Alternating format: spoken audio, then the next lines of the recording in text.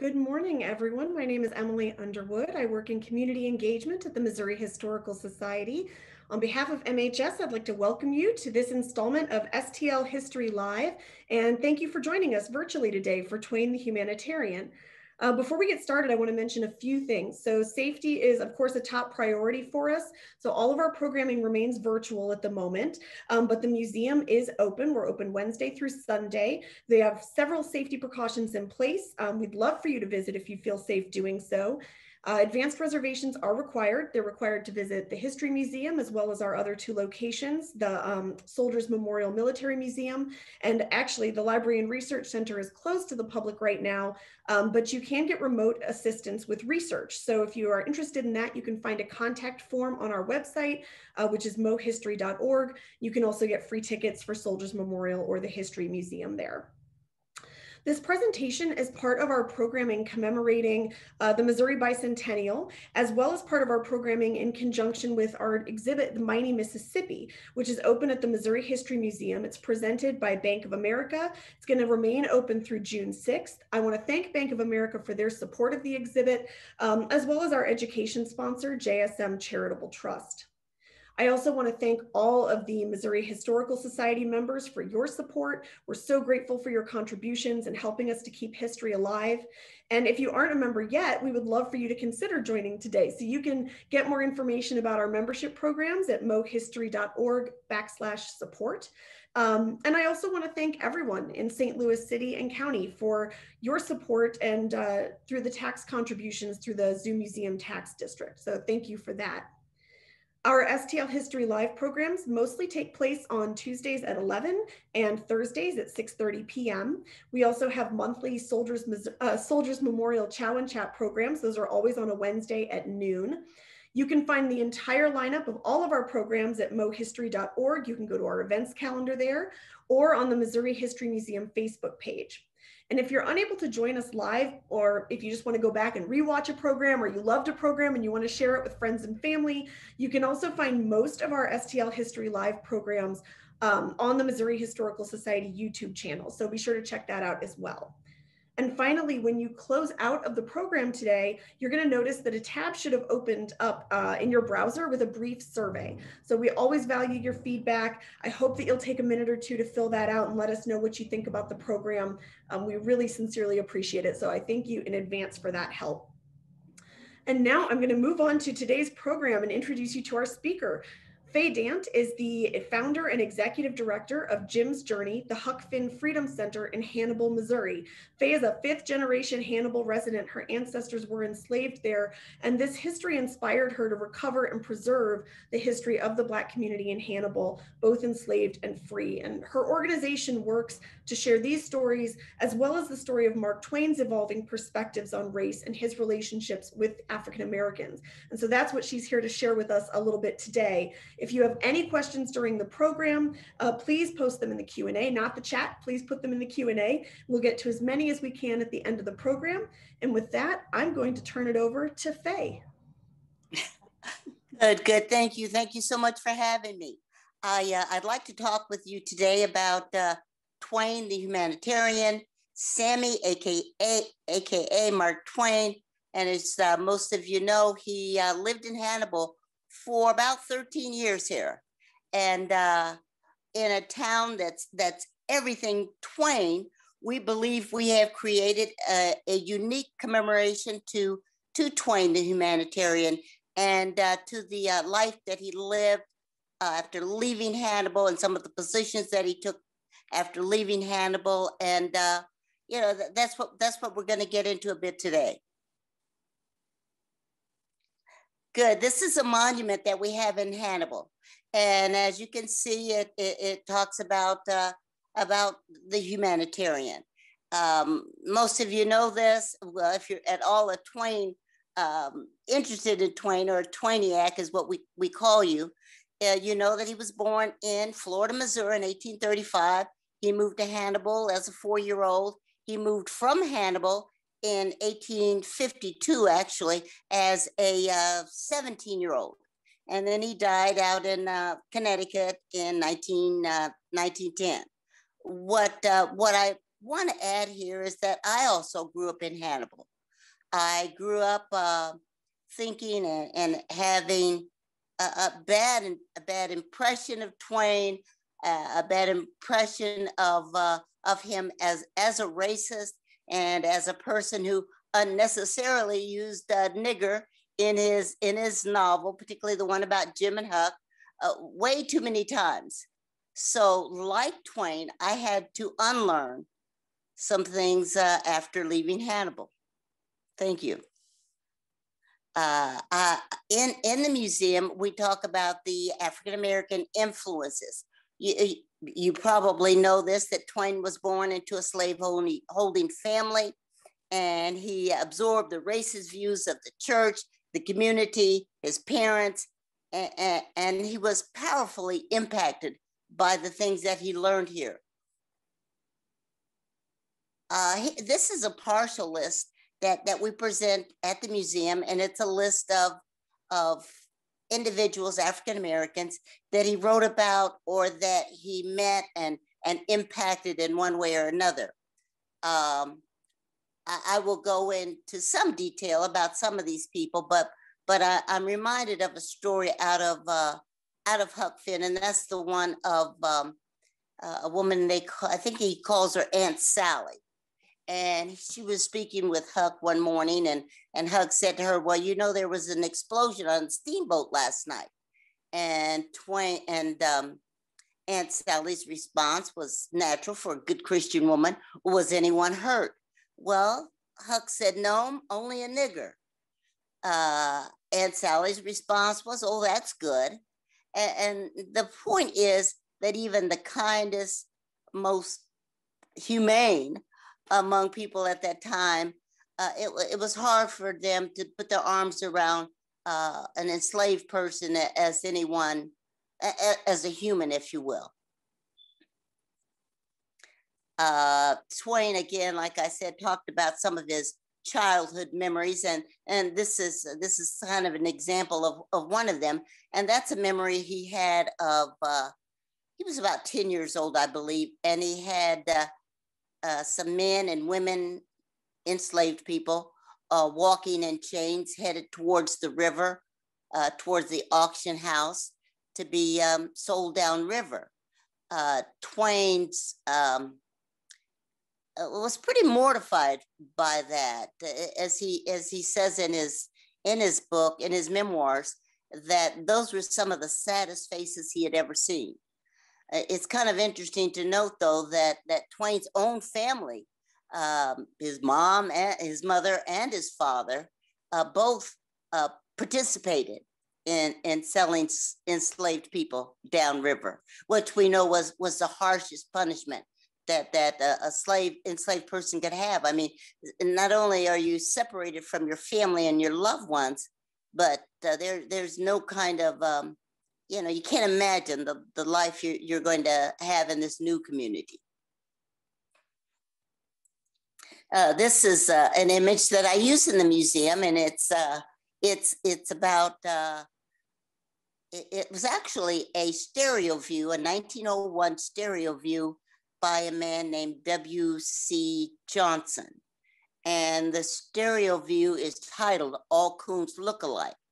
Well, I use it in the museum to not only show uh, these kids is that who, who you know could have very well be uh, the image I should say could have very well been little Sammy's playmates, but also it's it's symbolic of uh, of Black Americans on the other side of that fence that that uh, that Twain refers to in Tom Sawyer. Uh, this is, uh, again, an, an Imagine family Daniel, Hannah, Harry, and Mary. Daniel, uh, if you know Huck Finn at all, uh, he was one of the prototypes for Jim in Huck Finn. And uh, Huck Finn, oh, excuse me, little Sammy would spend summers in Florida, Museum, excuse me, in Florida, Missouri, listening to uh, Uncle Daniel and Aunt Hannah's stories, uh, uh, stories being told at the end of a long, hard work day. Um, in, the, in Jim's journey, I, I, get to share with you a photograph of, of Mary Quarles, as well as some information about Harry Quarles. These are two of the named enslaved children that Daniel and Hannah had. Uh, the, the point is that while young Sammy was learning the art of storytelling, they did not necessarily share with him the hardship, the pain, the powerlessness, all of that associated with the reality of slavery. Uh, obviously, uh, the, the, not only were these childhood memories influences, but once he left Hannibal and began to travel the world and began to experience other things, there were other influences that sort of changed him. And uh, I, I claim that that Twain became, or Samuel Clemens became somewhat of an abolitionist once he left Hannibal. He, uh, we acknowledge that he married into a, uh, a family of abolitionists, very wealthy family. His wife Olivia was not only uh, an abolitionist. I mean, she had learned this from from the her childhood, but uh, the neighbors were, were, were were the same. You know, had the same kind of mindset, and so he was surrounded about all, uh, with by all these new people and all this new thinking. And uh, the, the, there are many influences that uh, that that he had, not only in his early life, but but throughout his life, if you will. Uh, this is uh, uh, his wife Olivia. They were married in 1870. He was he was not a kid. He was in his 30s. Well, he's 35 when they when they married, and so uh, you know he he still had a lot to learn, and, and it seemed that he was open to learning and open to to sharing his, not only his old Hannibal experience, but also his uh, his um, you know new life and and the new people that he came in contact with.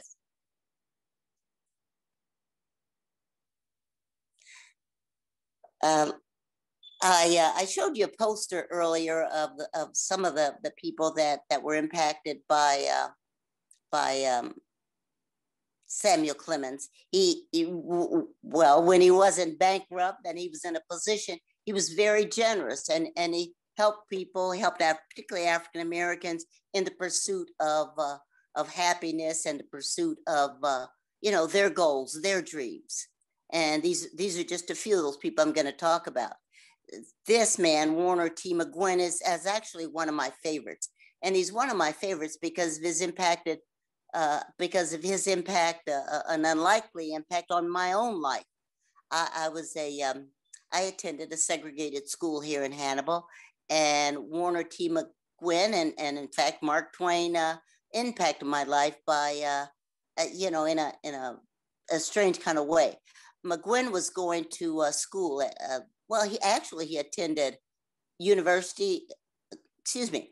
He attended um, Lincoln University in Missouri for his undergrad. He went on to attend Howard University for a bit, but he ended up at the law school at, at Yale University and here he graduated in uh, he graduated from from Yale in 1887. Along the way, though, he met uh, uh, Samuel Clemens. Samuel Clemens was out there doing some sort of presentation, and uh, McGuinn approached him to say, you know, I'm, he knew him as a wealthy man, and he said, I'm really struggling here, and uh, I'm wondering if, uh, if if you could offer me any assistance. So Twain did some thinking on that, and then he wrote a letter back to the dean.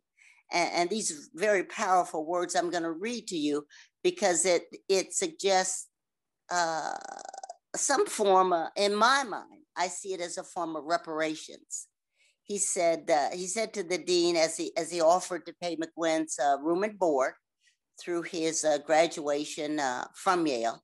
He said, I do not believe I would very cheerfully help a white student who would ask a benevolence of a stranger. But I do not feel so about the other color. We have ground the manhood out of him, out of them, and the shame is ours, not theirs, and we should pay for it. That that's just so powerful, and and again, to me, he's acknowledging that uh, that reparations may be a, a good thing, and maybe something that that we have to give more consideration to. At any rate, this is Warner T. McGuinn. And, and, oh, I, I, I apologize. I, I, well, it says here on the on the slide, but McGuinn became a mentor to Thurgood Marshall, our first Black Supreme Court justice, but also the, the lead attorney for the uh, Brown versus Board of Education uh, lawsuit that, that we won and that, that was used to um, uh, integrate public education. And like I said, I was one of those kids that ended up at a, at a white school and, uh, um, you know, went on to, to do what I needed to do. But any rate, it was Brown versus Board of Education, excuse me, Board of Education and Thurgood Marshall and Mark Twain that, that were responsible for that. Uh, he, uh, well, you, you, you know that he loved uh, to, to the storytelling. Uh, we've, we've evident, he has evidence of that throughout his work with uh, the, the, the uh, the, the storytelling and the way he he used storytelling to uh, to accomplish what he wanted to accomplish. But he also loved African American music. He uh, this is this is the Fisk Jubilee Singers. Uh, Fisk Jubilee obviously is a university in Florida, and they they were in dire straits, and so they had determined that they needed to do a world tour, and so they did that. Twain uh, supported them. If he was in a place where they were performing, he would attend their performance. And he even, as I understand it, would, uh, would write flyers and, and encourage his friends and family to support the Fisk Jubilee Singers as they traveled the world to raise funds that they sent back or they went back to, to sustain that university. Uh, John Lewis, John Lewis, well, he is considered a longtime friend, and obviously that's in quotes uh, of uh, Samuel Clemens. But he met him at the, the Quarry Farm, uh, where uh, this is a farm that his in-laws, or, excuse me, owned. The the story that that's told about John Lewis is that there was a, um, an incident where he saved the lives of of Livy and and the children. There was a, a runaway horse and and buggy, and and he somehow interceded and saved their lives. So he became kind of a lifelong friend of of the Clemens family because of that. Uh, Charles Ethan Porter was an artist in Hartford, uh, and again, well, this is no new news, but but most artists are, struggle, you know, to maintain a living. Uh, Samuel Clemens happened to come across one of his paintings, admired him, and wrote a letter to uh, to recommendation to to give him an opportunity to study. Excuse me, to study art in Paris. Uh, that uh, that enabled Charles Ethan Porter to to actually make a living selling his paintings uh, once he returned to Hartford. Uh, A.W. Wilson is, is another one that, that I admire uh, and that, that Twain obviously admired. He was a theology student and he attended Philadelphia's Lincoln University. And that, that's one of the oldest African American colleges in, this, in the United States. At any rate, Clemens helped to finance his education. Um, I, um, I, I, wish I could tell you more about how they met, where they met, but but the backdrop to some of these stories are, are vague and uh, you know takes a, a little more research than, than I can give you at this time. Uh, this is a, a man, uh, blind Tom, Tom Wiggins. He was born enslaved and he wasn't blind and autistic, but he was an extraordinary talent. It seems that that Twain was on one of his speaking engagements, he was taking a uh, uh, a train and I believe going cross country. I think he was traveling to Galena, and he happened to hear uh, this commotion inside the train. Uh, you know, he was sitting in his seat and he heard all this noise, but it was turned out it was it was uh, Tom, and he was uh, in, in his own way making the the sounds of the train uh, crossing the country and and and it was it was unique and it was interesting it was beautiful twain admired it and he started to attend and support tom wiggins as he became uh, uh, a, a novelty, if you will, and and, and did some some um, you know perform throughout the the United States. And now Twain, uh, I, I, didn't mean to give the impression that he only uh, influenced or, or oh, excuse me, uh, impacted the lives of, of African Americans. He, he was all about human rights. And this is a woman, uh, a woman named Prudence Crandall. She was a, a white Quaker woman who decided that she was going to teach free Black, uh, excuse me, she was going to open her school up to uh, Negro girls uh, after after the emancipation, and in doing that, she came under the um, uh, came um, to be unappreciated by the white community in Hartford. Uh, I mean, you don't necessarily think of, of the kind of hate and disdain that that uh, uh, we know existed in the South, but here in Hartford, they didn't like that. And, and in the next slide, you'll see where they, uh, some Hartford citizens burned down her, her school. She had to uh, leave Hartford. Hartford. She ended up in Kansas, poor and broke and and and in need. And and Twain again intervened, and he was able to secure her um, her uh, a small pension for her, and made her life better. And um, you know, he he was all about human rights.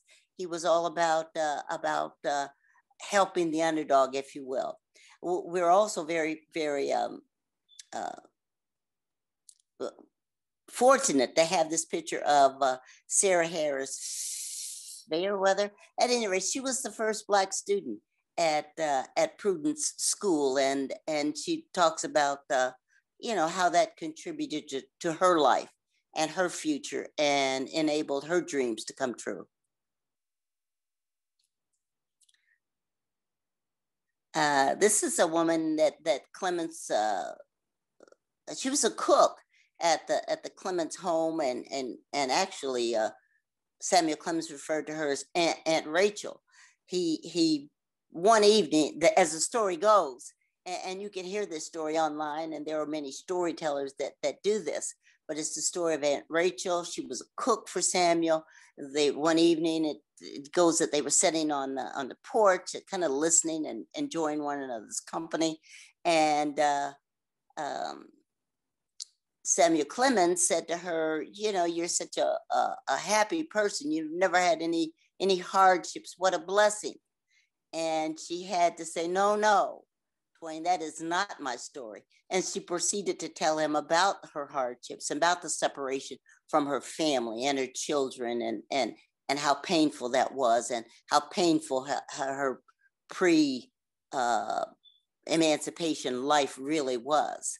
Uh, this story is actually published in the um, uh, one of the. I'm sorry, I, I forgive me for this. In one of the chronicles uh, out east. He published it and he got a lot of recognition for it. But but it's but it's her story and it talks about the horrors of, of slavery. Uh, Clemens, uh, it, it's I, I get a, a good feeling thinking about our freedom fighters, such as Frederick Douglass, that he interacted with, that he interfaced with, that he impacted and and and, and you know moved their life along be- because of some little thing he did. Um, uh, Frederick Douglass, one of the stories that that that I'm fond of is uh, he was about to lose his job as uh, and and Twain in fact wrote a letter to then President uh, Garfield, I believe it was, at any rate, and and secured him a, a lifetime federal position. But but he also supported him with with financially and fundraisers and letter writing and publications of, of various pro-black uh, articles uh, supporting uh, the African American causes. He was, uh, in my mind, an abolitionist and a, and a true humanitarian. W.B. Du Bois, a prominent civil rights leader and founder of the NAACP, he supported him in, in the same way. And one of the things that, that he did was uh, he uh, wrote a review of uh, Mr. Du Bois' uh, autobiography. and uh, recommended that that people read it black and white and uh, this of course contributed to his success he also I, I also have an image from one of the um, i think it's the next one um, emily of uh, of twain in the audience and this is from a new york times photo archives where um, uh, oh, excuse me booker t washington was actually doing a uh, a, uh, a fundraiser and clemens attended and he wrote a review oh i'm sorry he attended and he, and he did a lot to uh, support also Booker T. Washington.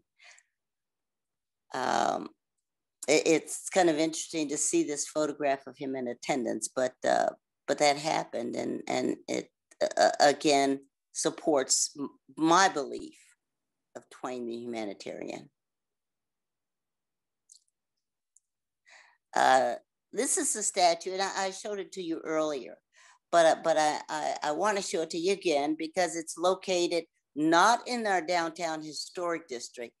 Uh, you know, I told you Hannibal uh, Towns, everything Twain uh, does not, Twain the humanitarian does not get the recognition I think he should get.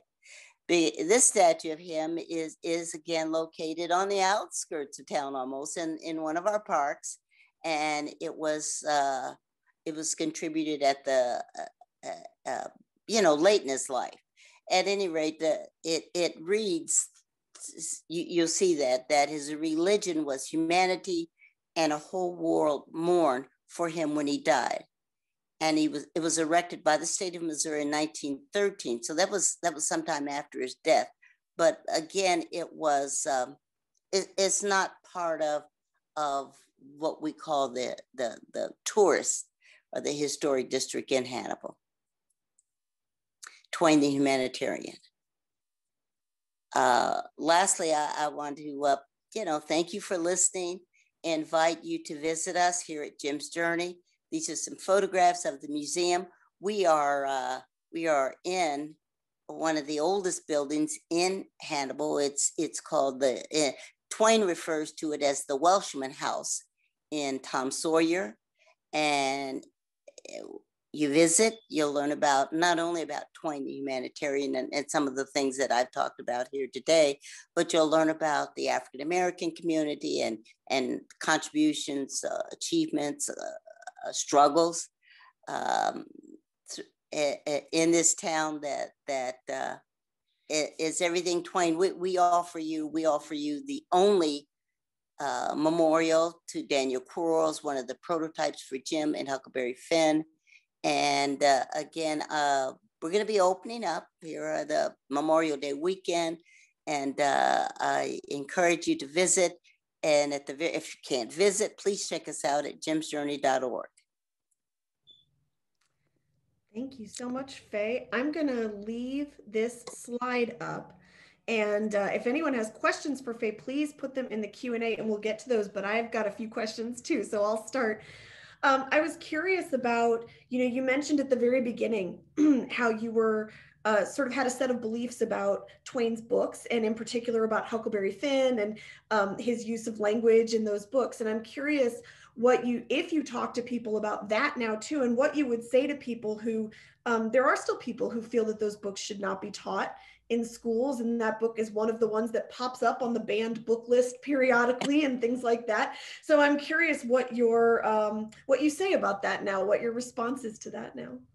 Good and i do get that question. I uh, my belief is that twain the, the the use of the word is was appropriate and it was necessary and it uh, it was uh, it should not be removed because if if you remove it people won't believe or they may not believe how tough those times were, how dehumanizing those times were, and and uh, you know you got to keep it in. That's the story. That's the language that was used. So we got to tell it like that. Mm. I, I, I, I, do have an opportunity every every year. I've I've done this.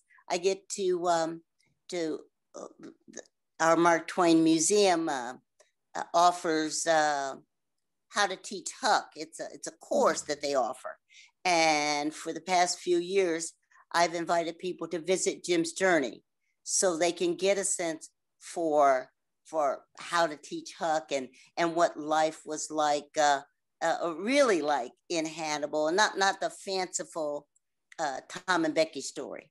So yeah. um, you know that that that's my contribution to how to teach Huck. I do have a question from a viewer. First of all, complimenting you and thanking you for the presentation and all this this great information, um, but also curious about kind of what sparked your your journey uh, in learning about this and doing this research and not just learning about it for yourself, but really going that extra step to make this um, a public, you know, institution, a museum. Oh, good. I, I appreciate that. Uh, I told you I'm a Hannibal native. I uh, went away, uh, as, grew as a person. I attended the University of Michigan, was on several boards, lived in Chicago. You know, I did some things similar to the life that that Twain lived.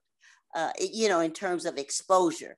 Mm-hmm. I, uh, my husband retired. We moved back to Hannibal. We had a farm here, so we moved back. I attended a an event. It was called Historical Hannibal, and there was only well, first of all, they referred to the gentler, kinder slavery mm-hmm. that uh, that that was experienced here in Hannibal, and then also there was just one photograph of a church and one photograph of our segregated school.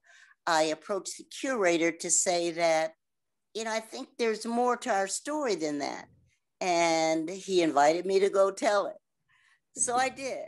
I wrote an article, I published it in a couple of newspapers. I told people I wanted to do this and that it was time that we do this. And people responded. I got, I have, uh, I'm this is sort of sad to say, but I have about 600 items in that little building that talk about the, the life and, and the experience of African Americans here in Missouri, uh, excuse me, here in Hannibal, particularly Northeast Missouri. At any rate, I did it out of uh, frustration I did it out of um, anger. I did it out of just a pure need to tell it. It wasn't being told. And what did it take to get the the Freedom Center open? Uh, I I had to write grants. Yeah. I uh, this property happens to belong to the city of Hannibal, and I I became active on our local historical board they were using the building to for storage. Mm-hmm. And I, um, because of its history, I approached them and, and they, excuse me, agreed to let us have it. It's um, like I said, it was used for storage, but it was formerly you. It was built by enslaved people pre 1837. it was it's had many uses obviously but one that that i like and one that i like to tell is that was used to store ammunition by Union soldiers during the during the Civil War. So that uh, you know, I approached the city. They gave it to me. That I lease it for one dollar a year. Wow, that's a cool story. Um, I was curious about you know, you talked about he he moved to Hartford, and we know that um, clearly it was not a you moved to Hartford and there's no racism there. We we heard the story of Prudence Crandall, and I'm sure that was not an isolated incidence of ra- incident of racism in in Hartford. But I am curious if you have any sense, and I know this is difficult to quantify, but if you have any sense of how much his views shifted with moving out of a of a pro slavery state. Um, you know, it sounded like he had some certainly some of the visuals he had as a child impacted him but but had he started to really shift his um, views on abolition and things like that prior to moving or did that really happen in hartford? You know what? I'm going to say it probably start started to happen as he began to travel. One of the things he also did was he wrote about one of the places he ended up was San Francisco and he worked for a newspaper there. And he started to write articles about the mistreatment of the Chinese who were there mm. working on, uh, you know, as laborers. Mm-hmm. So I, I, think it started before the marriage to, to Livy and before the, um, uh, her family got a hold of him. Interesting. I know that's hard to it's hard to track in a person's you know psychological shift, but um, that's interesting to see that. I'm going to go look up those articles now too. I've not read those. Oh yes. Was, I'm curious. Do you know if his parents who owned slaves, if they were alive to see some of this shift, or and and how they is there any record of how they responded or how he uh, navigated that with his family back in Hannibal? I, I'm gonna say I'm not sure. I I uh, I don't have it in my brain. You know when uh, when, when his parent was well, his, his dad died. He was a kid when his dad died. Okay. So I'm gonna say that that he did not see this this transition. His mm-hmm. mother by that time was living in Iowa with with one of her sons, and um, I don't know. She may have seen some of it. I, I would I would say yes.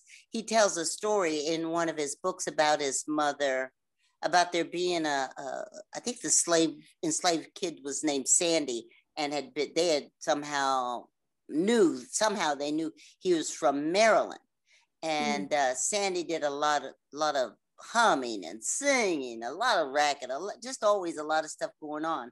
At any rate, Sand, uh, Twain found himself complaining about it and asked uh, his mother if she'd shut him up. And uh, the mother replied that he had lost his family, and, and that's kind of the way hmm. he he managed it, if you will, but by hmm. keeping his lane, you know, always always kind of keeping this happiness going, if you will. Mm-hmm. Anyway, so so she was, you know, I, I like that moment that he shares with us about her. And we're so lucky we have so many. He was so prolific with his writing that we do get to see, and on so many different, not just the books, but he said articles and letters oh, and all articles of those and essays. And yes, yes.